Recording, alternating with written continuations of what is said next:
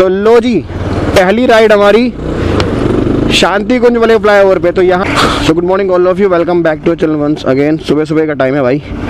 उम्मीद थी मुझे कि शायद अभी तक तो चालू हो चुका होगा फ्लाई ओवर लेकिन अभी भी स्टेटस इसका क्या आप देख लो। लेट स्टार्ट स्टेटस ये है इसका जो मैं शायद सामने से देख पा रहा हूँ कि ये वाला साइड तो अभी भी नहीं खोला, लेकिन उधर से गाड़ियाँ जो है आ रही हैं। तो मैं सोच रहा हूँ फटाफट से एक राउंड मार लेते हैं इसका। यानी कि ढाई और ढाई पाँच किलोमीटर। इस फ्लाईओवर के ऊपर से आ सकता हूँ, पर अभी जा नहीं सकता, क्योंकि जाने के टाइम का भी देखो, रास्ता बंद किया हुआ है यहाँ पे देखो। बट वहाँ से गाड़ियाँ ऊपर से नीचे आ रही हैं तो नीचे ज़रूर आ सकते हैं वहाँ से हम।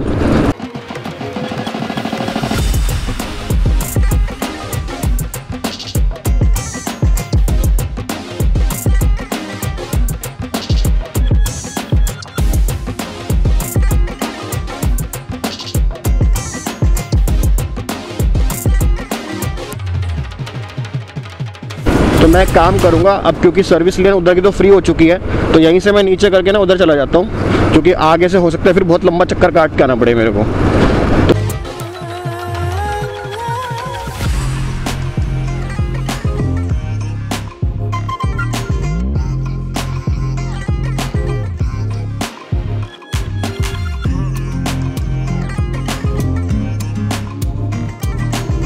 तो भाई साहब, ये मोतीचूर वाला flyover and here we come guys तो लो जी, पहली राइड हमारी शांति कुंज वाले फ्लाई ओवर पे। तो यहाँ से शुरू हो रहा है शांति कुंज के बिल्कुल सामने से। ये शांति कुंज का गेट नंबर टू है।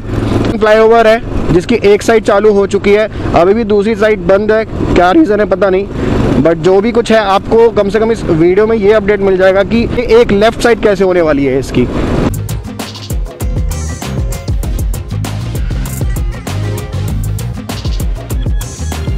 पहले जो ट्रैफ़िक बिल्कुल नीचे से निकला करता था, अभी वो इसके ऊपर से जाएगा। पूरा का पूरा ये एलिवेटेड रोड समझ लो। आप मोतीचूर वाला फ्लाईओवर को क्रॉस करोगे, उसके बाद सीधा इस फ्लाईओवर के ऊपर आ जाओगे। इनफैक्ट ये दोनों फ्लाईओवर समझो कि कनेक्टेड ही है। तो एक बार आप मोतीचूर वाले फ्लाईओवर पे चढ़े तो सीधा आप भूपत वाला पे आके उतरोगे। तो नीचे जितना भी आपका ट्रैफ़िक होता है सबका सब आपका, आप उससे फ्री हो गए अब।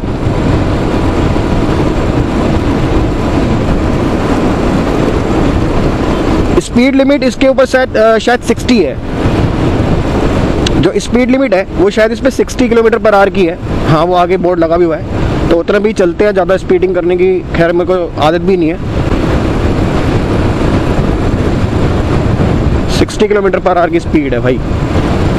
अब यहाँ से फ्लाईओवर थोड़ा सा डिसेंड होता है और उसके बाद फिर आगे असेंड हो जाता है। समझो कि ये आधा हमने एरिया कवर कर लिया है फ्लाईओवर का और उसके बाद वापस से यहाँ पे हम थोड़ा सा ऊपर की ओर चढ़ेगा। मैक्स टू मैक्स एक और दिन लगेगा इसे पूरा चालू होने में। ये लो जी, फिर से थोड़ा डिसेंट ये तो झूला झूला रहा है हमें। यहाँ पे फिर से थोड़ा सा हम नीचे की तरफ़ जा रहे हैं और फिर से थोड़ा वो ऊपर जा रहा है फिर आगे फिर से नीचे जा रहा है वो। रोलर कोस्टर राइड हो रही है इसके ऊपर तो। मतलब इसके ऊपर ना आप अगर ज़्यादा स्पीडिंग करोगे तो वो थोड़ा सा रिस्की हो जाएगा। क्योंकि कभी वो नीचे जा रहा है कभी ऊपर जा रहा है तो साठ की स्पीड तो लिमिटेड लिखी है इसमें। उसी पर चलना वही सेफ़ रहेगा इसके ऊपर।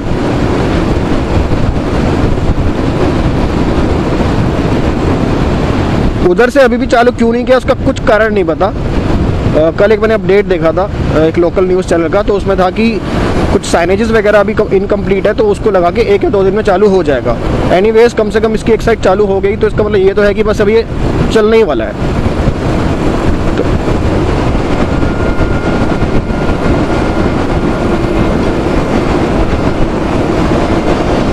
घर की पौड़ी बिल्कुल यहाँ से आप मुश्किल से दो मिनट के अंदर पहुँच जाओगे और वो सामने हमारा, आप देख रहे हो, वहाँ से अभी बंद किया हुआ है इसको। अब मुझे पूरा आगे से घूम के वापस आना पड़ेगा, क्योंकि बीच में डिवाइडर कहीं पर इन्हें खोला हुआ नहीं है। तो भाई, अगर आप देहरादून ऋषिकेश से आ रहे हो ना तो अब इस फ्लाईओवर के बाद आप सीधे आ जाओगे हर की पौड़ी के पास। वहाँ पे आपको पहाड़ के दर्शन हो जाएँगे, यहाँ पे आपको पहाड़ के दर्शन हो जाएँगे। मनसा देवी का जो पहाड़ है वो इधर है, उधर चंडी देवी का पहाड़ है और बस सीधे आप हरिद्वार में। यहाँ स्पीड लिमिट 80 की है। मैं राइट साइड में इसलिए चल रहा हूँ क्योंकि मुझे आगे से यू टर्न मारना है अदरवाइज़ मेरे ख्याल से टू व्हीलर पर अगर आप हो तो कोशिश करो कि लेफ़्ट लेन में ही चलो राइट लेन में तो नहीं चलो। हालाँकि सुबह सुबह का टाइम है तो उतनी उतनी भीड़ नहीं है, इसीलिए और मुझे यू टर्न भी मारना है तो इसलिए मैं इस राइट लाइन में चल रहा हूँ। तो ये आ गया यू टर्न और यहाँ से वापस यू टर्न लेते हैं।